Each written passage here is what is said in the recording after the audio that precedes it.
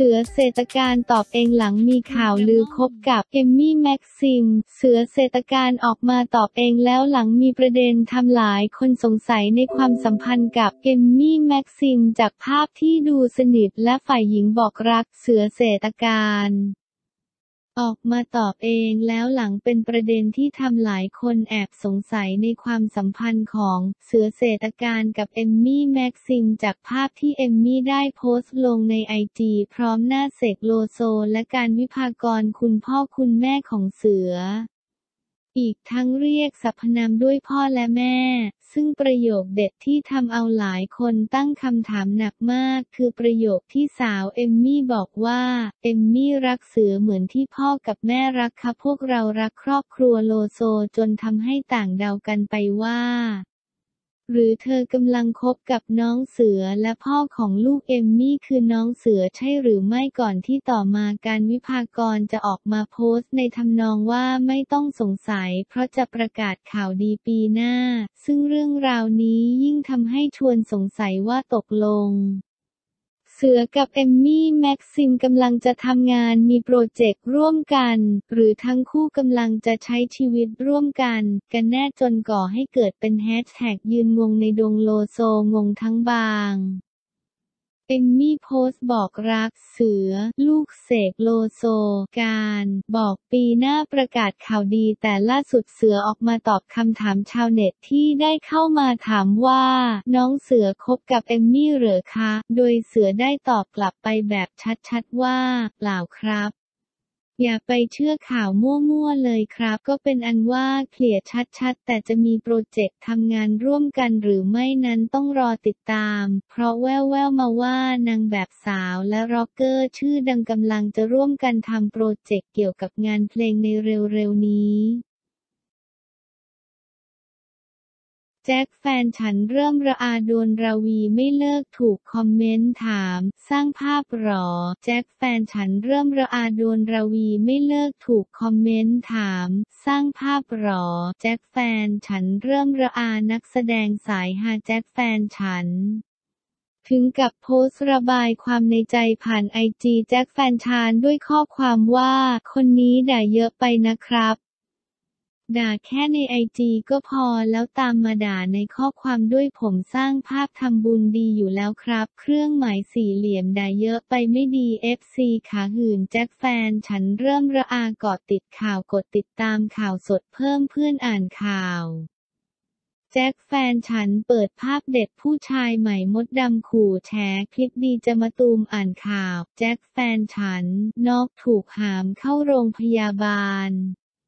มดดำเข้ามาบอกคุ้มกันไหมซึ่งน้ำใจมากก่อนหน้านี้แจ็คได้แท็กถามคนดังกล่าวไปครั้งหนึ่ง แต่ก็ได้เปลี่ยนข้อความโดยมีข้อความว่าธานูผ่านเยอะไปนะครับ ผมจะเลิกคบเพราะคุณนะครับ ถามคุณนิกกี้นะครับ ว่าเขาให้ผมเล่นแล้วเดี๋ยวผมจะไม่เล่นเพราะคุณแล้วโกบ่อยก็ให้เล่น แอดนิกกี้นชาติโคบอยคลัด ถ้าเขาไม่ให้เล่นเขาคงไม่จ้างผมไปเล่นหรอกครับ อย่าว่าผมตอนทำบุญผมสร้างภาพในสิ่งดีๆ คุณจะให้ผมสร้างภาพดมกาวลงไอจีหรอครับ มาด่าผมในข้อความไอจีด้วย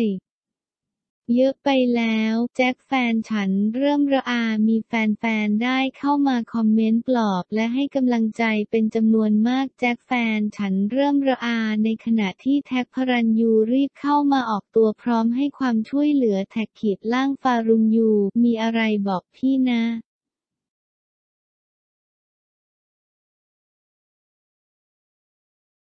แท็กพระรันยูโพสต์ภาพครอบครัวอบอุ่นต้อนรับปีใหม่หลายคนบอกเป็นเสียงเดียวกันแท็กพระรันยูโพสต์ภาพครอบครัวอบอุ่นพร้อมหน้าลูกชายและภรรยาเบลอดีราต้อนรับปีใหม่หลายคนบอกเป็นเสียงเดียวกันแท็กพระรันยู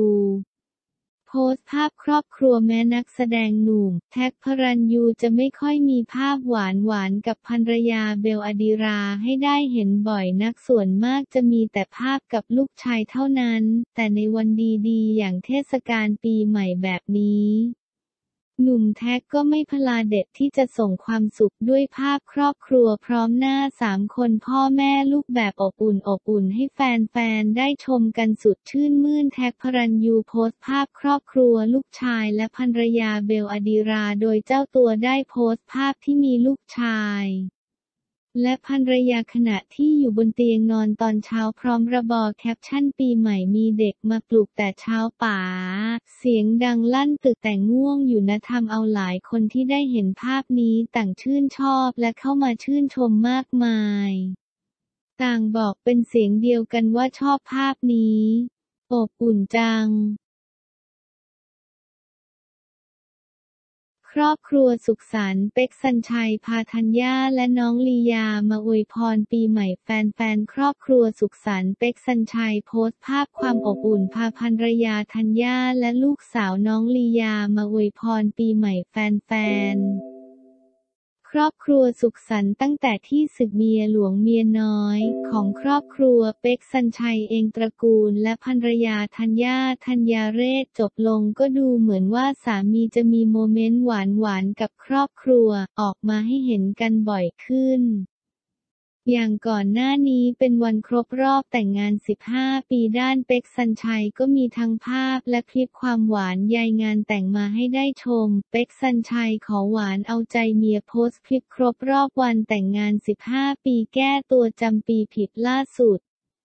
เนื่องในวันปีใหม่เป็กก็ได้โพสต์ภาพครอบครัวแสนอบอุ่นพร้อมหน้าพร้อมตาสามคน พ่อแม่ลูกมีธัญญาและน้องลียาพร้อมระบุแคปชั่นว่าสุขสันต์วันปีใหม่มีความสุขสุขภาพแข็งแรงปลอดภัยกันทุกคนนะครับ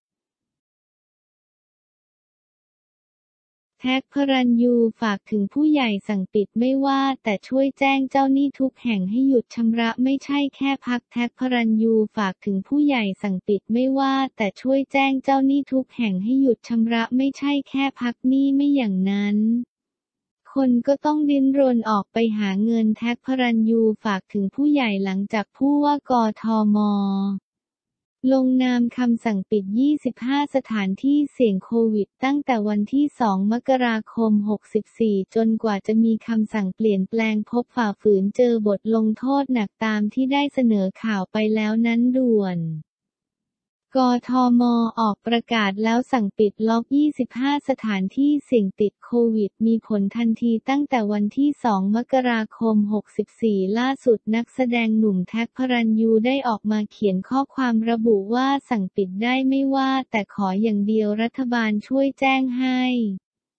ธนาคารไฟแนนซ์บัตรเครดิตหยุดชำระหนี้ด้วยไม่ใช่พักชำระหนี้แล้วคิดดอกเบี้ยทบไปอีกหากรัฐบาลทำได้ชาวบ้านก็พร้อมจะหยุดเช่นเดียวกัน เพราะถ้าเหมือนเดิมงานหยุดแต่นี่ไม่หยุด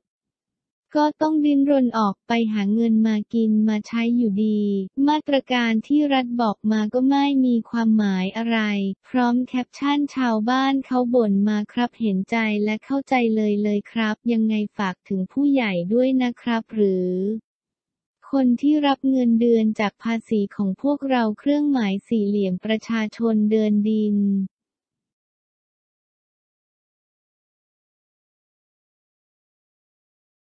Yes.